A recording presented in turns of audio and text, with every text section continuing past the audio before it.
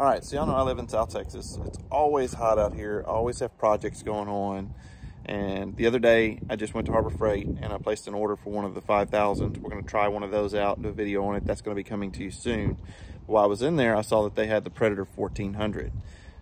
Now, my thought process is on this is a lot of times I'm out in the driveway, I'm out somewhere where there's not necessarily power. I don't feel like dragging out an extension cord and, you know, all those things. So you end up just sweating it out, right? You crawl under the truck, you're doing whatever you're doing. It's hot outside and it's like, man, I really wish I had a fan. And even we go to events, stuff like that, you know, no power, you know, you're outdoors and, um, you know, I was sitting there looking at this little Predator 1400 and I know the Predator generators are pretty quiet. So I was like, I'm going to buy one of those. The only thing I really plan to run with it is a fan. Um, and I want it to be very portable. And so let me turn this around. Let me show you this generator and uh, let's talk about it. Okay, so primarily, this is what's gonna be hooked up to this generator most of the time. When we go somewhere, we do anything, it is just, I mean, we're 103, it is hot. I mean, we're looking at 103 to 105 here in South Texas. And, you know, just doing any little project, a fan makes it much better. Um, and one of the main reasons I like this genset is it's quiet for one, but it's super light. I mean, it's 35 pounds. Um, you know, the 2000 watt generators are nice too, and they're quiet, but you know, they're getting more to that 50, 60 pound range. You know, I want something that I can grab, just carry it outside, pull, pull it one time, start it right up. It's easy, right? And uh, you don't really need a big generator and fan.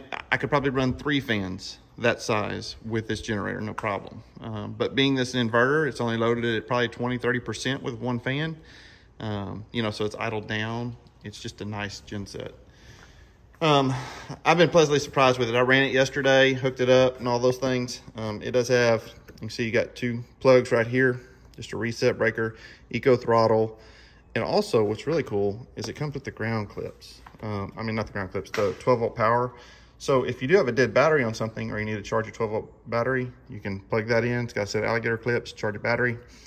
And also if you need to charge your phones or anything, you got two USB ports right here. And then uh, you can parallel this little generator if you want. I don't really see the reason to, but anyway, let me get this thing on the ground. Let's get it started up. We'll turn the fan on. Show you what I'm talking about. All right, so I've got fuel. I've got oil in it already. Like I said, we've been running it. I'm trying to start it with one hand. Let's see here if I can hold this. Super quiet little genset. Of course, that's with the eco throttle on, and it levels out a little bit when you put a load on it, but that's with the eco throttle off.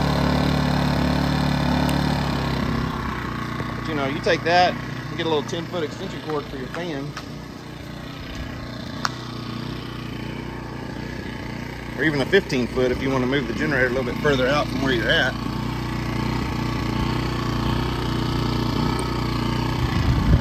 Alright, we're going to turn the fan on, just kind of show you how it loads up.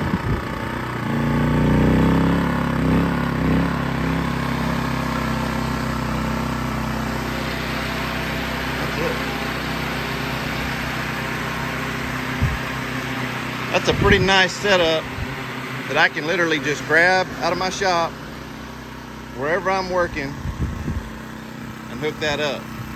You know, I've even got one of those little baby portacools. All right, so I'm gonna go ahead and add a second fan. Let's see if it'll pull two of these smaller fans.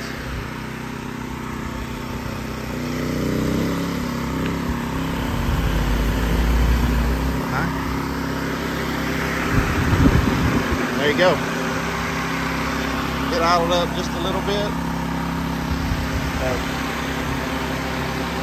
Two fans, no problem.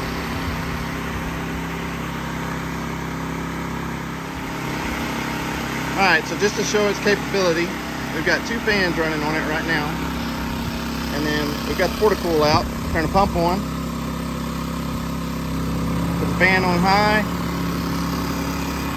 So is this little generator capable of keeping you cool for a 35 pound unit? I'd say 100% for the price point for a little inverter generator you can literally pick up throw in the bed of your truck I think it's worth its money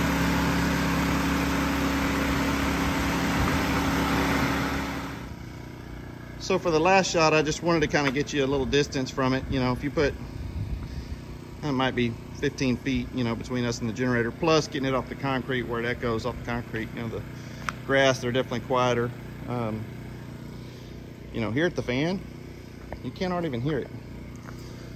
Turn the fan on. You pretty much just have the noise of the fan at 15 feet.